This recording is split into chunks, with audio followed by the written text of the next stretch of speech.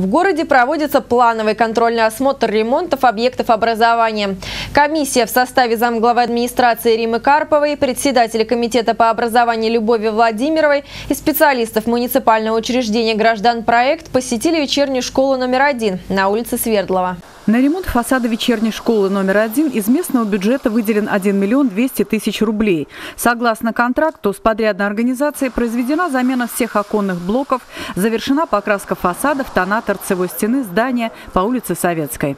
Сразу хочу сказать, что это здание не является объектом культурного наследия, оно просто расположено в исторической зоне.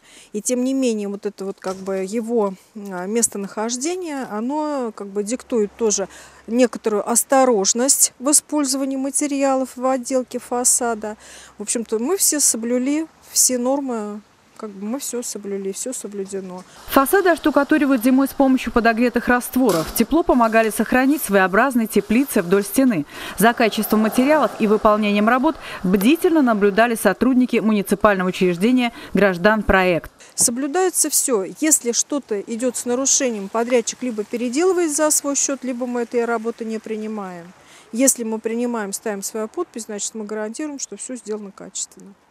Качество работ получило положительную оценку комиссии и директора школы Светланы Шинковой. Вечерняя школа работает с 1943 года. Частичный ремонт внутренних помещений был произведен в 1996 году. Дату последнего ремонта фасада не помнит никто. Внешний ремонт здания, честно говоря, не помню, потому что здесь работаю с 1985 года, и за это время внешнего ремонта здания не было.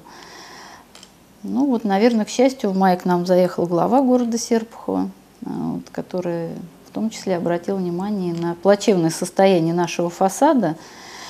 И было принято решение выделить деньги на ремонт фасада здания школы.